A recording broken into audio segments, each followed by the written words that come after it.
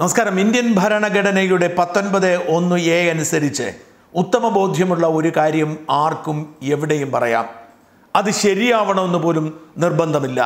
തെറ്റായി ഒരു കാര്യം പറയുകയും ആ പറഞ്ഞത് മറ്റൊരാൾക്ക് നഷ്ടമുണ്ടാക്കുകയും ചെയ്താൽ ആ നഷ്ടം നികത്താൻ നിയമത്തിൽ വേറെ വഴിയുണ്ട് എന്ന് മാത്രം.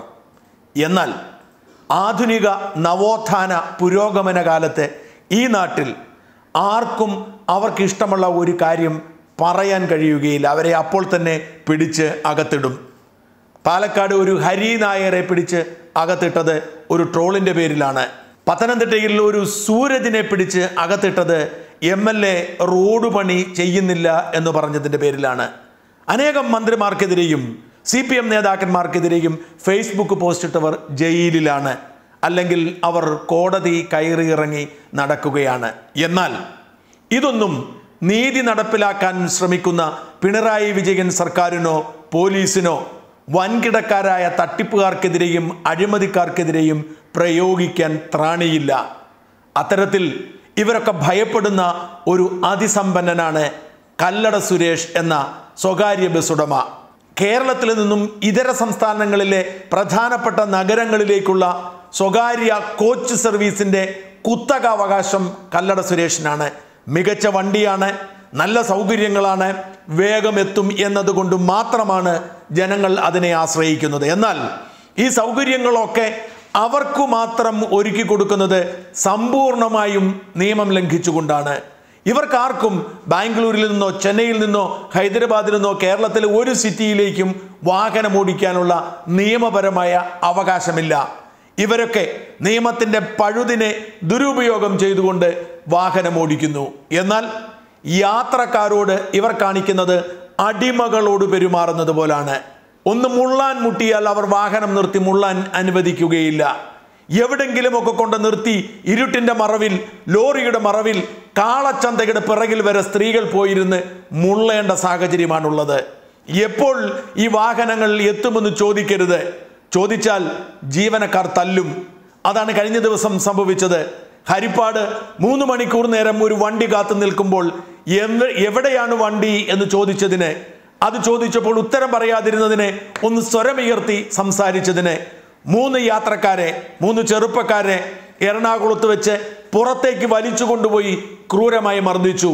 അതൊരു യാത്രക്കാരൻ വീഡിയോയിൽ പകർത്തിയതുകൊണ്ട് അയാളത് ഫേസ്ബുക്കിൽ പോസ്റ്റ് ഇട്ടതുകൊണ്ട് ലോകമറിഞ്ഞു. അത് വന്നപ്പോൾ അനേകം പേരാണ് കല്ലടയുടെ അഹങ്കാരത്തിന്റെ കഥകളുമായി രംഗത്തുള്ളത്. ഒരുപക്ഷെ ആധുനിക കേരളത്തിൽ ഒരു ബസ് ഉടമ ഇത്രയും ഭീതിതമായി അവരുടെ യാത്രക്കാരോട് ഇടപാടുകാരോട് പെരുമാറുന്ന ഒരു അനുഭവം കാണില്ല.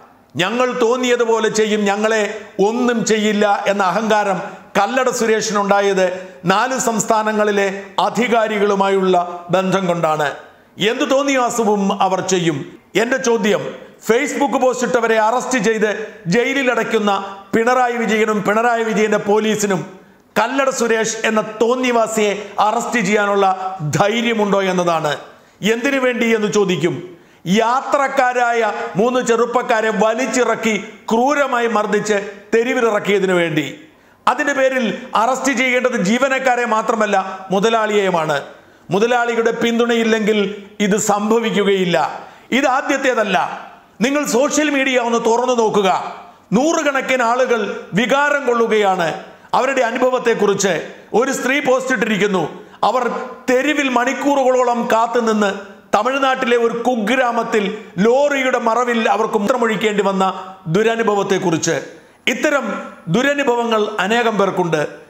അനേകം പേർ പരാതി കൊടുത്തിട്ടുണ്ട്. ആർക്കെതിരെയും ഒരു നടപടിയും എടുത്തിട്ടില്ല. ഇരട്ടച്ചങ്കൻ എന്ന് സഖാക്കൾ കൂടി പറയുന്ന മുഖ്യമന്ത്രിയോട് എനിക്ക് ചോദിക്കാനുള്ളത് ഒരു അന്വേഷണം പ്രഖ്യാപിക്കൂ. ഇവർക്ക് എങ്ങനെയാണ് പെർമിറ്റ് കിട്ടിയത്? കോൺട്രാക്ട് കാര്യേജ് എന്ന നിലയിൽ ഒരു സ്ഥലത്ത് നിന്നും പുറപ്പെട്ട് മറ്റൊരു സ്ഥലത്തേക്ക് പോകാൻ മാത്രം അധികാരമുള്ള ഇവർ എങ്ങനെയാണ് കൃത്യമായി റൂട്ടുകളിൽ ആളുകളെ കയറ്റുകയും ഇറക്കുകയും ചെയ്ത് വണ്ടി ഓടിക്കുന്നത്? ഇവരെങ്ങനെയാണ് ഒരു നിയന്ത്രണവുമില്ലാതെ കൊള്ളയടിച്ചുകൊണ്ട് നിരക്കുയർത്തുന്നത്? അവധിക്കാലത്ത് നാലും അഞ്ചും ഇരട്ടി നിരക്കിലാണ് ഇവർ ചാർജ് ചെയ്യുന്നത്. എന്ത് അധികാരത്തിലാണ്? എന്ത് നിയമത്തിലാണ്? ഇവർക്കെതിരെ ഉണ്ടായ കേസുകളിൽ ഏതേക്കുറിച്ചെങ്കിലും അന്വേഷിച്ചിട്ടുണ്ടോ? ഒരിക്കലെങ്കിലും ഒരു കേസെങ്കിലും എടുത്തിട്ടുണ്ടോ? ധൈര്യമുണ്ടോ ഈ തുടർച്ചയായി നിയമം ലംഘിക്കുന്ന കല്ലട സുരേഷിനെ അറസ്റ്റ് ചെയ്യാൻ?